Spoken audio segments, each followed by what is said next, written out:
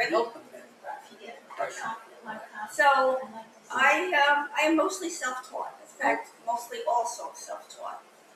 Um, but beginning way back when I was, you know, knee high to uh, I, um, started learning all kinds of needlework. And that was my, that was my go-to thing. So I, I did embroidery, did beading, I did tailoring, I did, um, I'll skip that one. Okay. I made clothes, I made, did upholstery, I did, uh, quilting, I did everything. So that, that's my background. And, uh, when I, uh, retired, I went to the first, uh, the first quilt show that I'd been able to go to in about ten years because I, it'd been ten years since I touched anything because I got very involved with work, which was not very rewarding, but it was, it was work. Um, and I went to a quilt show and I, I was in shock because when I stopped, all of the quilting was done by hand. And when I went back in ten years, most of it was machine quilting. So I went home and I said, well, I have to teach myself that. so this is my first piece, starting, um, starting with all those new techniques that I had to learn. So I bought, I at the same quilt show, I bought these strips of fabric and put them together. But knowing me, I have to keep going and keep adding things to it. So I started out by quilting some of these mot- motifs into the fabric, even though it wasn't being used. If the motif wasn't highlighted, I added some more in there. Then I thought, well, I'll have to use some strange uh, trims and ribbons and things like that. So I traced things through here. And then I just plain put ribbons in here. Uh, this this one I kind of like because it's it's kind of fluffy and it floats in the breeze. And some of my other pieces since then I've done that with too. and finally, I have these are not buttons. These are round pieces round pieces of cloth that I circled with beads, and I call that tropical green. So that was my first effort. I kind of liked it. Now I'm going to go out of uh, out of order just because the way these pieces are set up on the wall. So this piece here is called the conversation, and I put on I I used plain fabric and I drew on it uh, with, with um, crayon, well, not crayon, um,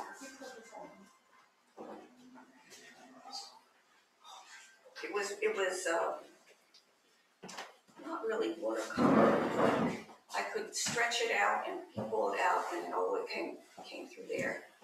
So that gives us a background. The only piece of, uh, commercial product I used was this circle was the moon, just because it looked like moon. Then I used um, another another uh, neat fabric, which is it's paper, but it looks it handles like uh, cloth, and it you can draw on it. You can do anything with it. So I made that the tree, and then the bir- birds are both uh, foil and metal that I use. And most of my work has whimsy, as you can see, that's pretty whimsical, and uh, color and texture. And the texture is in the quilting and in anything else I can find to put on it. Explain to them about the uh, metal. how you came out uh, with that idea? Well, I might Or is use it too that, soon I. I might do that in Okay. another piece. Can I ask a question, Marilyn? Yes, How do you fasten the metal to the fabric? um, ca- mostly I use, I can sew it. Really? I, I- with, uh, as Carl was alluding to, I use a, um, soda can, which you can cut out the top and the bottom, and then you have a very thin piece of metal that you can, uh, put over an open flame and it kind of patinas out however it comes out. Wow. And then it's thin enough to sew through, so I do that. Interesting.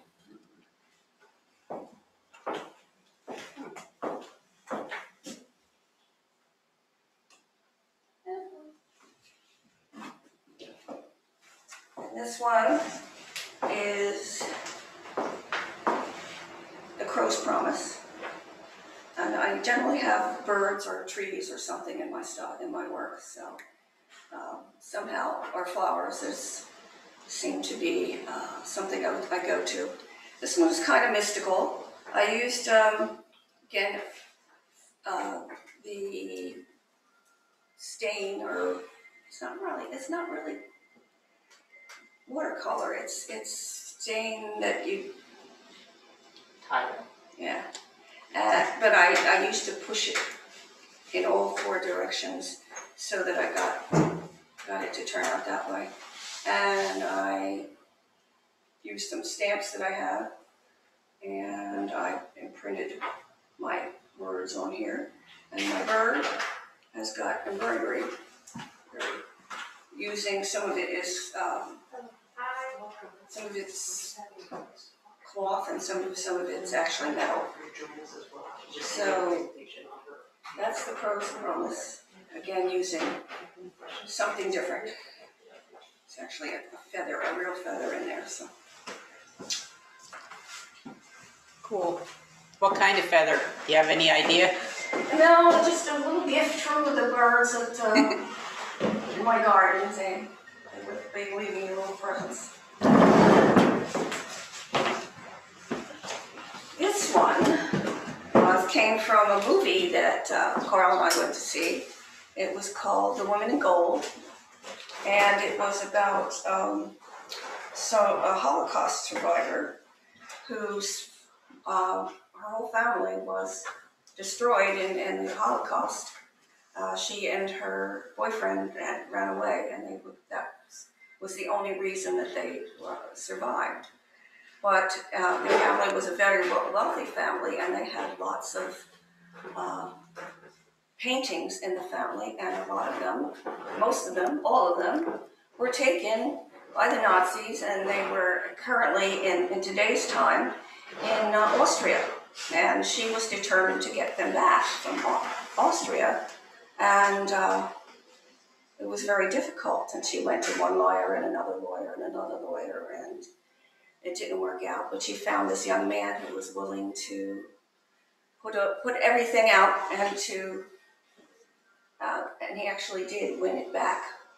So this is my uh, glimpse of Klimt. Klimt being the artist. Uh, I didn't try to um, create, recreate her face or I think just just the pose.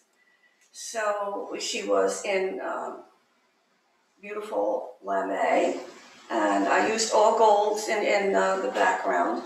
There were different kinds of uh, uh, upholstery fabric, and I just put a little bit of foil on these places to represent the gold and I really, I really like it because it meant so much to me. I don't know if I'll ever sell it, but um, I, re- I really, um, really hit me. So that's a glimpse of Klimt. That's a gorgeous piece.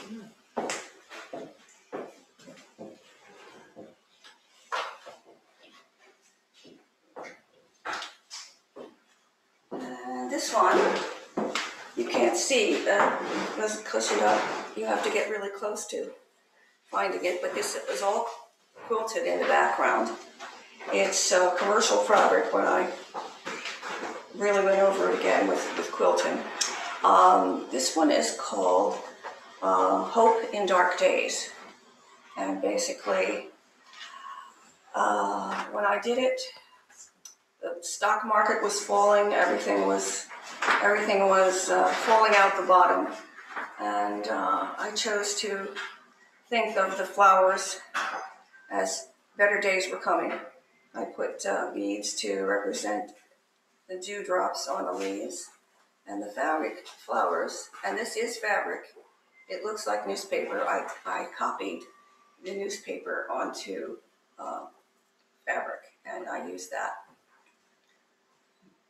So it's, it's a, seems like almost could be today, I don't know.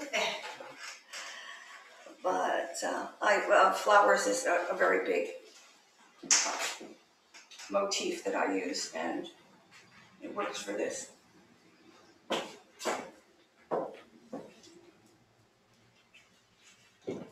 so going, going back to the cans, the soda cans, uh, this, this is all soda cans.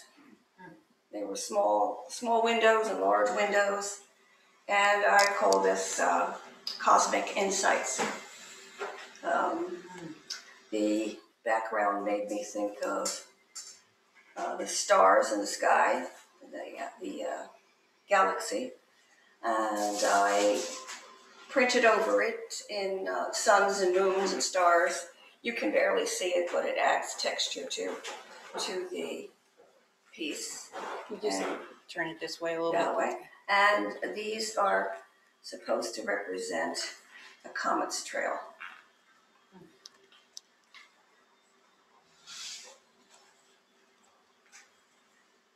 And that's there. You can see it really if you you can look later and see that I really do. So right right on through here. See And that's by hand or with your machine? a machine. With Yeah, machine? yeah, I did, I did, I do most of it with machine.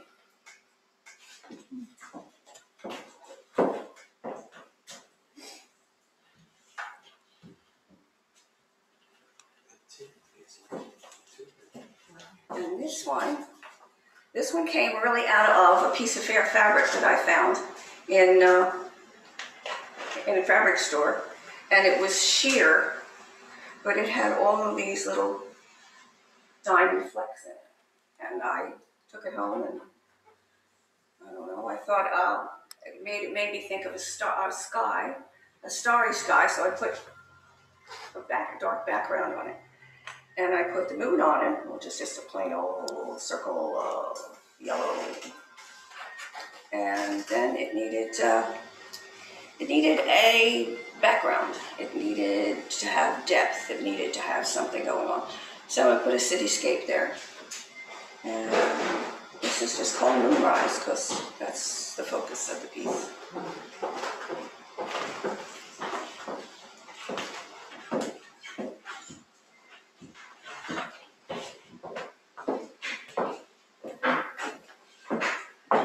I'm just going to show you a couple of ones left and then anything else you can ask questions about. But this piece is, uh, I, I, I made a series of these and this one is called Vivi Eastfield.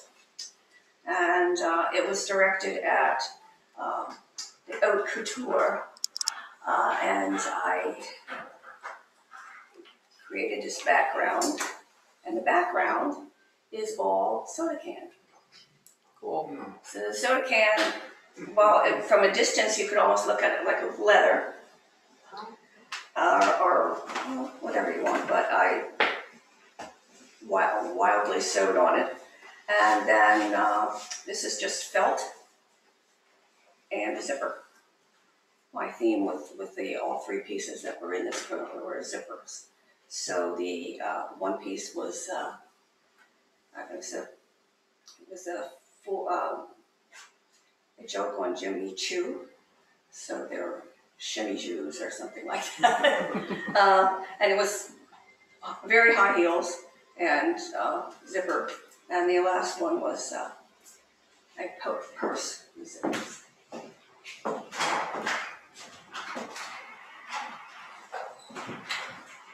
And I think this is the last one. And this is really going back to my roots, really. Uh, it's uh, been painted, so it's all white fabric, and I painted the, uh, the colors. And it's all heavily quilted, which you can see up up close later. And then the branches of the tree are all different pieces of brown. And then, of course, the little teeny pieces of green that I, that I stitched on to make the leaves. So I'm, I'm, I'm really great with little teeny tiny pieces that I cause myself agony with. Just like, um, just like the uh, of Klimt, I did the whole thing, but I, I didn't like, uh, the red, it was, it was too bright. And so I stitched on all, every single one of those little tiny pieces of gold. So, um, in conclusion, uh, I just hope you, you like this and have as much fun with it as I do, and that you can look at the rest of the, um, the little funny things that I've put in the corner, and some of the other ones I haven't direct, directed to, so. Yeah, you veered into 3D there. Yeah. Oh, and one one last one, I could do that, yeah. Well, I didn't do it.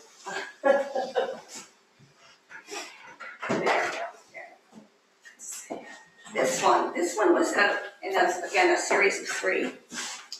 And, uh, this one was, I was working on the pieces of the, the vegetables that were in my garden and that I, I wanted different words for them in, uh, um, in di- different languages. So I call this one pimento, uh, pepperoni, and then I created uh, the wooden um, table, I guess you would call it, with all different words on it. And this is the fabric background, and this is the windowsill. And then behind the window, you have the mountains in the background and the cloth that blows in the breeze. And finally, I lost my mind and uh, and I went all around it with indi- individually done beads that were in the colors of the spell bead. So that was that was my Zen moment.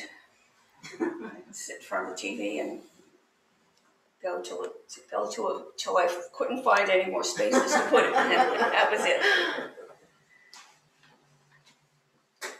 Okay, that's really the end. I have a few questions. You sure? Uh, First simple one, the, and the first piece, you have that thread that's out like this, did you un, you know, take apart thread to get that feathery look? On these, no. They came like It was that? Just the way, it was just, it was actually a skein of wool. And, uh. Oh, it came like that? Yeah, and it was, it was really a pain in the neck to, to sew, but. It's really interesting how you put it on, because you can't really tell, it looks like magically glued on there.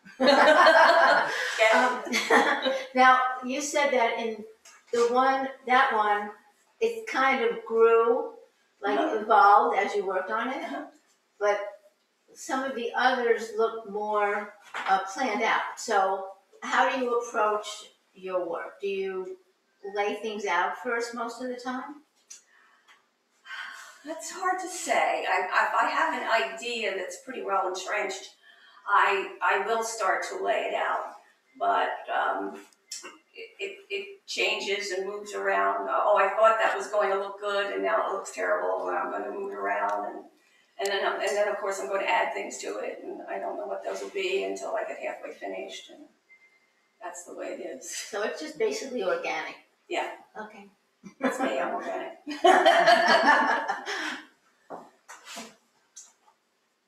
So what's currently inspiring you and what are you working on now? I have been fooling around with uh, really, really just creating backgrounds. Um, I intend for now to put uh, exotic flowers on top of them. But I don't know how that's going to go. It's uh, it's it's all organic. yeah, that's the way it goes. Is it- I have a, I have a question. Ah, That's Gabby. Gabby, what's your Well- question? Um,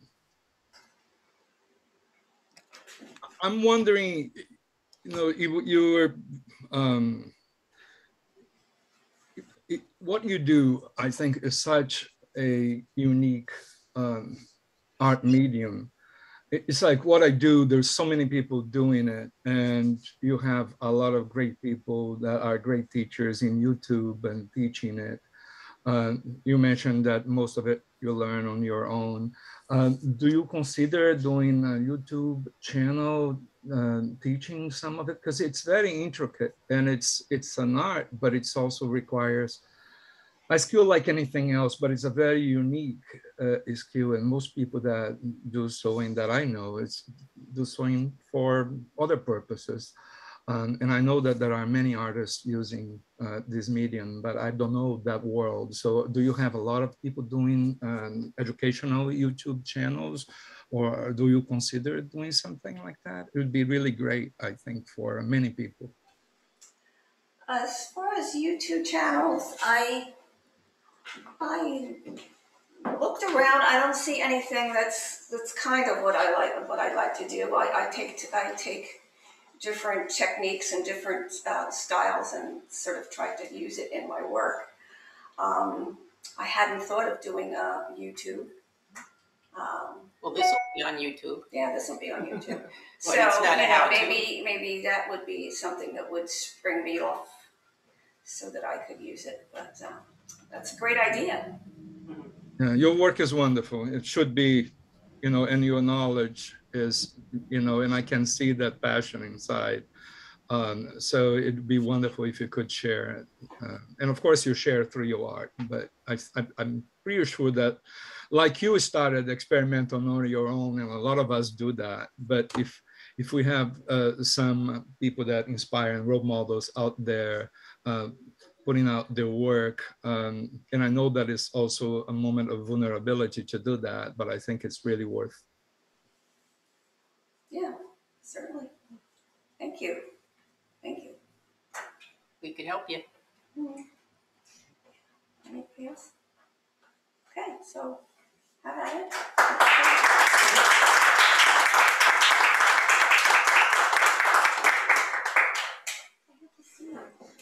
Harold, you didn't show that over. I didn't show. Thanks for coming, guys. Thank you, everybody. Thanks, Barb. Thanks, Gabby. Take care. Bye-bye. Bye-bye. Sorry.